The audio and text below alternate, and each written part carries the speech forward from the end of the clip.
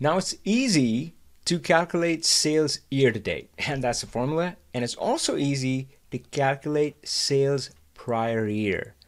But if you want to compare apples to apples, how do you calculate sales prior year year to date? All right, let's dive in. So let's look at our Power BI model. So here we have the sales year to date uh, measure I just showed you the formula. It's a pretty straightforward formula, and I love that simple stuff in Power BI where you can do a lot of things very easily. So sales year to date, you've seen the measure, and sales prior year, you've seen the measure. But again, as you can see, right now we're in the middle of the year, so it's May 10th, and the current year uh, has data only till May 10th, right? And uh, but the prior year has data for the full year, so it ends up being an unfair comparison. Let's look at it with the help of Excel. I just wanted to show you in a visual. So again, current year, you can see that it's only going till about, you know, kind of the uh, May 10th date, but the prior year is a full year. So of course, and you can see that in the numbers that it's not kind of matching up, right? So it's, we don't have the right information. We can't effectively compare that are we doing better or worse than last year. So of course, what you would want to do is you would want to compare apples to apples. So you want current year year to date, which is pretty straightforward, but how do you get prior year year to date?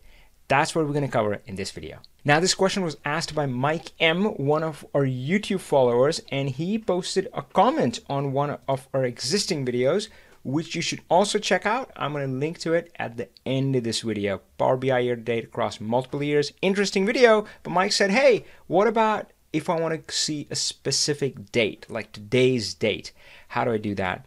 And that's what we're going to um, uh, answer today. And of course, if you have any Power BI question you need uh, help answering, then just go to learnpowerbi.com slash question. So let's get started with this demo.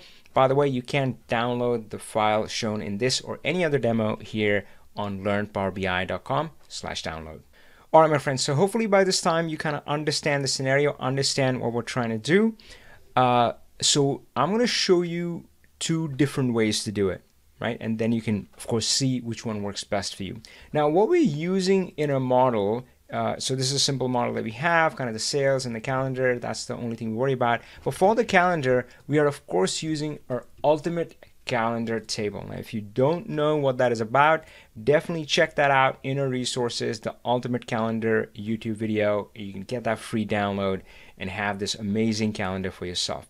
Now, we have a lot of bells and whistles built into this calendar. And by the way, the right place to build your calendar table is certainly the query editor. And that's what this, this pattern uses. It builds the whole thing inside the query editor and again, that video we're going to link to has all of the details for you, how to download, how to use it. But the key thing that I want to point out to you are a few of them. Um, um, one is this indicator which marks whether a future date or past date. We are going to be using that, right? So again, right now it's uh, May 10th, so um, everything beyond that is going to be marked as future. Everything May 10th and before is going to be marked as past. And there's some other bells and whistles here, like the current year offset. And for that, uh, zero marks the current year. And again, the videos on the Ultimate Calendar talk about in more detail all the other stuff in, inside the Ultimate Calendar table.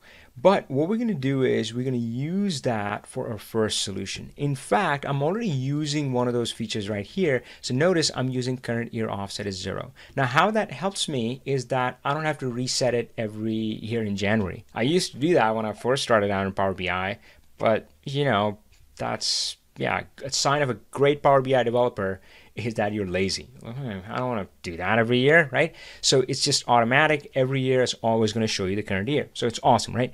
So current year offset is zero. So it is showing year 2022 and we can see that in the dates here as well. But again, as you can see here, it goes till the end of the year. It goes till December. And of course, well, we don't have data for the current year because well, we haven't invented time travel, right? But we have data for the prior year, and that results in the apples to oranges comparison. So an easy fix that we can do is that we can, in the filters here, we can go to our calendar table and bring in that future date field and apply that as a filter. And I can say, you know what, I do not want to see future dates. So I'm going to click on that, right? So again, I brought that filter in. I said, just show me the past dates and that's it. And you can already see that how the graph is very different. So again, let me take it off. So again, focus on May. So May, it's making it look like, uh, oops, let's try this. Uh, so May, you can see that it's showing the prior year there were 335,000, and this year it's like oh, not as good, 255.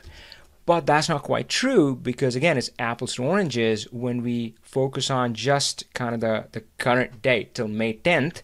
Well, then you can see that we are actually doing much better than last year. Last year till this date was 98,000 and well, this year we are 255,000. So incredible, right? And again, you can see that in the table down here. Uh, we're only going till May 10th. So this is a quick and easy fix, but this may not work every single time. So let's talk about the second scenario. So for the second scenario, I wanted to show you something which is part of our advanced module, but there are going to be scenarios where you can't filter down the whole page to only show current dates because you want to show future dates. You may not have obviously actual sales for future dates, again, unless you have the time machine, but you might have forecasts. And as you can see, this is the advanced lesson where we show kind of a, kind of an actual lines and then we show a forecast line, right? And, and of course, there's a budget line here as well. But again, so you're going to be have scenarios where you cannot just simply filter down to the current date. So um, for that, that means we, we can't just willy-nilly apply that future future date filter on the whole page. Now you can probably try to allow, uh, uh, add that filter selectively on some uh, some visuals, but that's not a very clean solution. And I, I'm always wary of that because I kind of forget it that I had the filter on it and so forth, and it leads to trouble. I would rather use the ultimate weapon that we all have, which is DAX. So let's see how we can solve it in DAX. And I'm going to take you step by step through that. All right, so I've created a kind of a working measure here, and we're going to use that to take you step by step through the process, right? So the, uh, the overall high level, what we're going to do is is that uh, of course first you have to understand that what's the incoming filter context right so and in this case the incoming filter context is being determined by uh, this filter current year offset is zero which effectively right now it means it is 2022 now of course the magic of the ultimate calendar is the next year is automatically going to switch to 2023 uh, but again so effectively you have dates from January 1 through December 31 so first thing we need to do is we need to kind of filter out the future dates right? So we only want the year to date uh, so let's do that first. So we're going to go here and again pull out our magic wand, which is calculate, which is I always use to alter the filter context. So you have the calendar, and here we're going to use that future date filter. And again, earlier we had kind of manually applied it in the filters pane but again, you can kind of programmatically apply it using DAX. So it kind of gets built into this measure, and this measure will always behave in this way. So we can say that here, future date, I only want past dates. I don't want any future uh, future dates, right? So again, so this is kind of the next step. So incoming filter context is um, is um, uh, uh, you know is full year, and this is filters out past dates. Uh, so again, we're getting here. Now, of course, the answer didn't change because we didn't have any future sales, understandably. So the answer is still the same, but that's good. The step is important. And the next step is that once we have the filter context, which is looking at the current year, year to date, then we can say and say, hey, go same period last year. Again, kind of we know how to do the uh, sales year to date, we know how to do prior year, but in this one, we need to do both. So I'm going to show you the wrong way to do it and the right way. So the wrong way is what I tried first. Uh, it doesn't work. So what I thought was that I, we already have the year to date. Now all I need to do is uh, just come in here and uh, uh and I'll say uh, same period last year. So I'll shift the context there, right? So I'll just do same period last year, calendar date, and it would work. But of course, it doesn't work. Let's give it a try. So you can see that it's not working. It's right. It's giving us the full year. It's still doing the apples to oranges. Now, whenever your measures don't work, then I know sometimes I feel rushed to just figure out the solution, figure out the answer. But if you really want to learn Power BI, maybe come back to it later or spend some time even there when you can, just to simply understand and go step by step on why this is not working. Now, if you definitely are interested more in that, then I would say check out our training course, learnpowerbi.com slash training, because it, it takes you through the five-step process on how to debug measures. Step one, I kind of talked about the incoming filter context. But again, so you can debug every measure which is not working the way you would like it to work and truly understand that what is going on and why it isn't working. So again, go for some structured training which can help you understand some of those core concepts. But here let's keep going and I'll just simply give you the solution. So um, what you need to do is approach it slightly differently. And we're going to pull in another magic wand a magic wand inside a magic wand. Uh, calculates friend calculate table. Now the thing about calculate table is it's quite like calculate uh, it's a magic wand, it lets you alter the filter context. The only difference is that calculate uh, would let you return a single or a scalar value. Calculate table, well, guess what? It lets you return a table. And that's what we're looking for in this case. We're return, looking to return this table because that is what we want to be our new filter context. Filter context is simply a filtered set of rows. So we want to filter down to year 2021 till the current date. So let's go here and we're going to swap out and change the, the order here. So we're going to put this first. So I'm saying calculate this table, right?